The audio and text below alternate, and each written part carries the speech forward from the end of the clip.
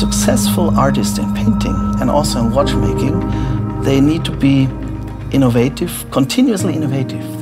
And people will talk about it, and it's interesting to see what new pieces of art they will come up with. Quand euh, j'ai commencé à travailler pour Cyrus, il a bien fallu évidemment conserver ce cadre, conserver tous les codes qui font que la marque Cyrus euh, est différente de ce qu'il y a sur le marché. On a voulu trouver une architecture qui donne une forte identité. On est revenu aux prémices de l'horlogerie avec un tourbillon qui est en position verticale mais pas en aplat comme tous les concurrents. Et puis, euh, cette option nous a permis d'avoir une montre avec une identité forte, avec une architecture au niveau du mouvement qui est différent. Et tout ça fait que la montre a une, forte personnalité. On arrive sur quelque chose qui va peut-être devenir un objet d'art. Euh, L'Hyperwatch, pour moi, c'est ça. C'est quelque chose qui est exceptionnel, qui est marginal, qui est rare, et qui va vous donner un produit qui amène des émotions. Cyrus is looking different from other watches. So Cyrus has, for me, has um, the value of being recognized from 10 meters.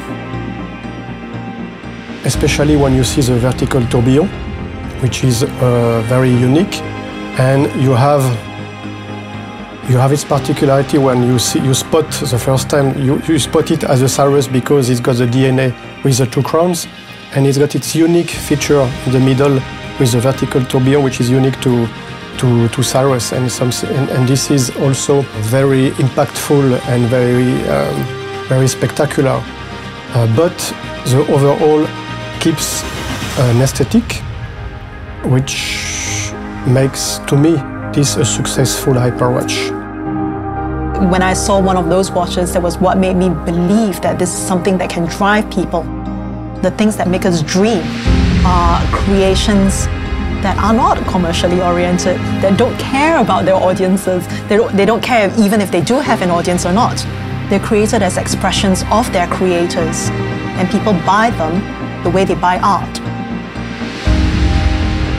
What makes the Cyrus brand unique is that you have a family behind it that created some of the leading luxury goods in the world.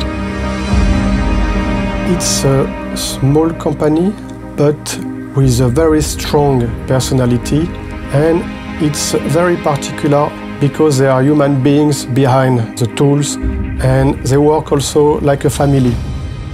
Les rapports que j'ai avec la famille euh, Richard sont, sont excellents. Pense qu'ils sont avant tout basés sur la, confiance. Je dirais que c'est ça qui fait l'essence même d'une bonne collaboration. Jean-François Mangin is one of the best watchmakers in the world. What he does is he takes traditional mechanical watchmaking functions and interprets them in a different way. Like for example, he took the queen of complications, the tourbillon, and put it in a vertical position. Why in a vertical position? Because there, he's most independent from its gravity. Euh, pour moi, Cyrus, euh, c'est avant tout trois éléments, je dirais. C'est l'innovation, c'est également un design particulier, une signature, et puis euh, c'est une exclusivité.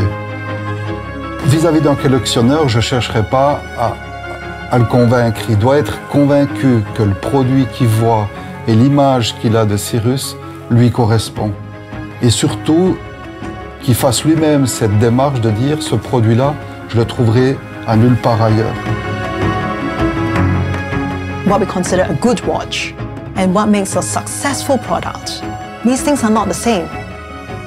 And I feel like what is the advantage that we don't see? What is the factor that we're missing? What are we blind to?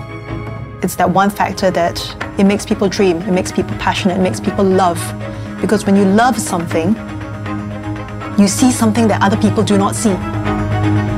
You belong, when you buy a Cyrus watch, to a very exclusive circle of people in the world.